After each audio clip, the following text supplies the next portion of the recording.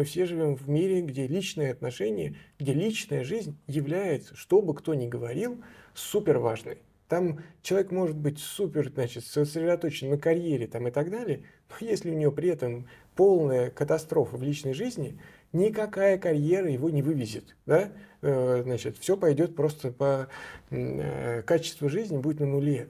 Вот, поэтому можем сколько угодно отрицать, а чем дальше мы будем двигаться, тем это будет важнее, потому что карьера перестанет быть э, такой э, ну, манкой целью, просто потому что карьеры вот в привычном виде, они будут рушиться в новой экономике, в новом, э, в новом миропорядке, в котором мы находимся.